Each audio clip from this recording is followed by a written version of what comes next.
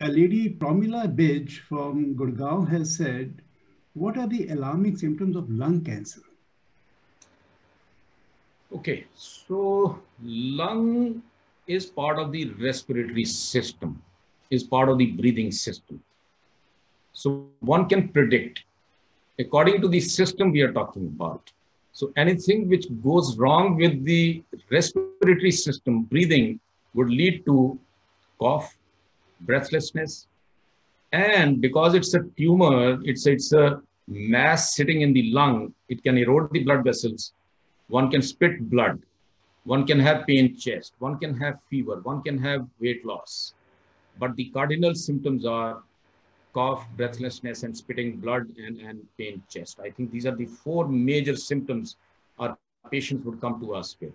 So unfortunately, these are not symptoms only of lung cancer. These symptoms could be in other diseases as well as primarily in our country. We shouldn't forget that tuberculosis is also common, and these could be the symptoms in tuberculosis as well.